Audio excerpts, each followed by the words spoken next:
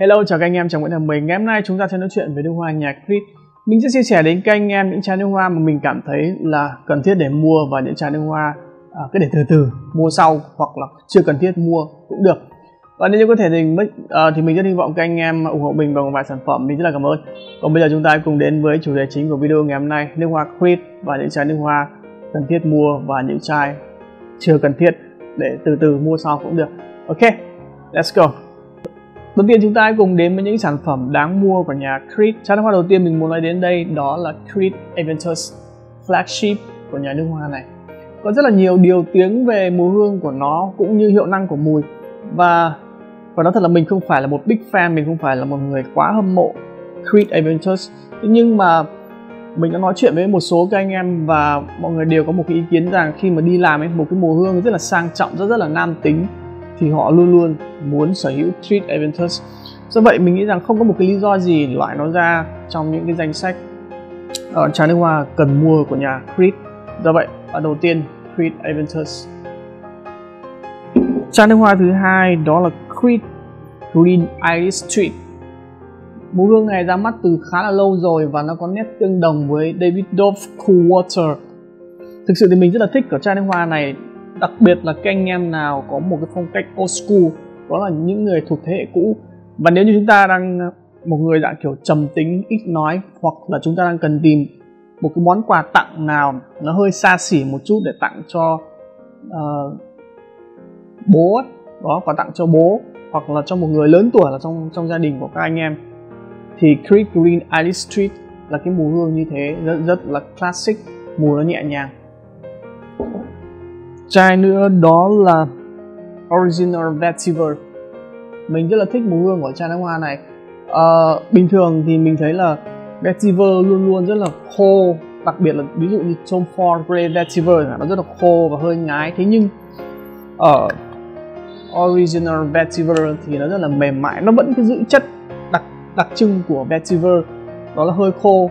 Uh, không bao giờ là có một cái gì đấy nó mềm mại. Không bao giờ nó có một cái gì đấy nó nữ tính. Nhưng ở chai nước hoa này có thể gọi là rất rất là dễ ngửi. Các anh em nào mà cân nhắc là có điều kiện về kinh tế và chúng ta muốn tìm hiểu vetiver là như thế nào thì đây. Original vetiver của nhà Creed rất rất là đáng để mua tiếp nữa Creed Aventus for her. Mình đặc biệt thích mùi hương này nếu như các chị em sử dụng. Một cái mùi hương mà phải nói thật là mình còn thích bản nữ này hơn là cả bản nam. Các bạn nữ nào mà có một cái style nó hơi uh, không hẳn là quá là sexy thế nhưng nó có một chút bốc lửa. Một chút uh, gì đấy nó rất rất là thu hút mọi người. Thì Treat Amethyst for Her sẽ là một cái vũ khí yểm trợ rất là tốt. Tiếp nữa Virgin Island Water. Mùi hương này khi mà chúng ta xịt thì nó giống như là một viên kẹo dừa hay là một uh, cái gì đấy một ly kem dừa hay là một viên kẹo dừa. Bởi vì xịt một cái vị ngậy một cái vị thơm của dừa mình thích xịt chai nước hoa này vào những ngày vẫn có nắng nhưng mà nó không quá là gay gắt. Thì cảm giác người mùi rất là thú vị. Chứ còn để mà tầm 40 độ Việt Nam thì thực sự là như vã vào mặt. Còn lại tầm khoảng từ 35 đổ về và mát mẻ. Virgin Island Water này mình thấy rất rất là ok. Royal Mayfair. Ở chai nước hoa này có sử dụng một nốt hương khá là độc đáo, đó là thông mà nó kết hợp cùng với hoa hồng. Đã nên khi mà lần đầu tiên mình xịt chăn hoa này, phải nói thật là mình phải hòa lên bởi vì nó rất rất là gây cho mình một cái bất ngờ. Rất rất là bất ngờ.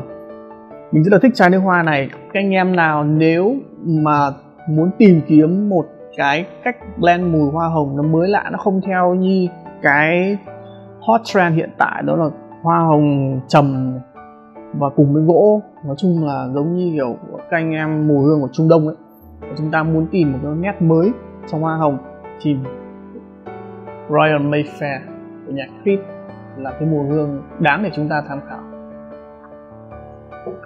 Và cuối cùng chai nước hoa mà các anh em cần tham khảo để sở hữu Silver Mountain Water với cái mùi trà kết hợp cùng với xạ uh, ờ, mình nghĩ rằng điểm mạnh của chai nước hoa này không phải là xịt xong và hít hà mà khi mà chúng ta xịt chúng ta di chuyển và cái mùi hương nó sẽ và cái sự khách toán của nó nó sẽ phảng phất phảng phất cái mùi trà rất rất là thú vị. Đối với mình cảm nhận là cái thế mạnh mùi hương của chai nước hoa Virgin à, à, Single Mountain Water là như thế. Và hình như nếu như mình không nhầm là nó đã bị reform mùi nhưng mà không sao cả. Chúng ta cũng nên tham khảo mùi hương của chai nước hoa này và đấy là những chai nước hoa mà các anh em ờ, tham khảo để sở hữu. Nước hoa của nhà Creed còn chai nước hoa nào mà chúng ta nên từ từ?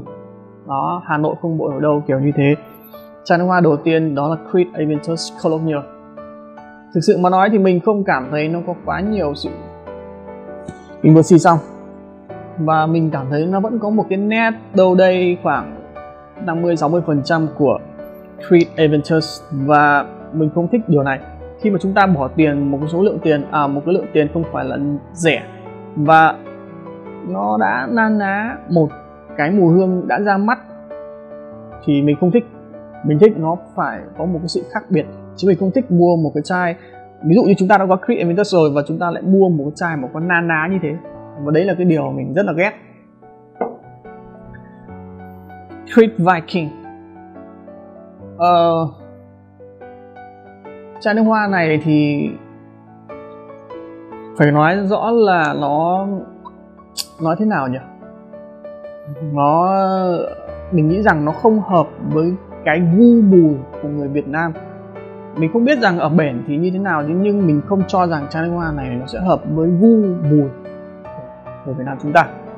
Chúng ta không thích những cái mùi nó quá là gắt nó quá là khô khan thì ở chai nước hoa này nó tập hợp tất cả những cái điểm đấy mà mình không cho rằng uh, chúng ta có thể mua và cảm thấy ưng chai nước hoa này. Và nếu như anh em có ý định thì nên thẩm một trước khi mua. Đây là một chai không phải để nghe những lời tán dương để mua bởi vì như mình đã nói nó không hợp với gu mùi về đại đa số của chúng ta. Ờ, hai chai tiếp theo các anh em có thể sẽ thấy khá là ngạc nhiên. Đó là Creed Original Center và Himalaya.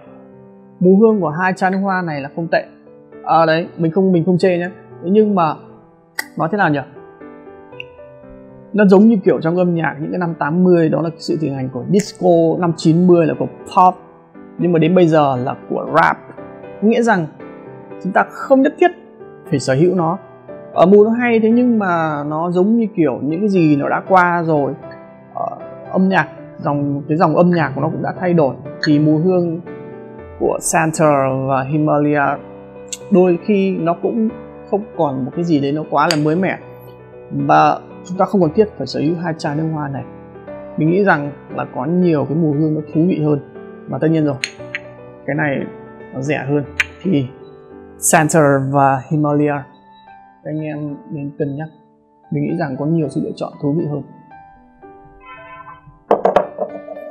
Và cuối cùng,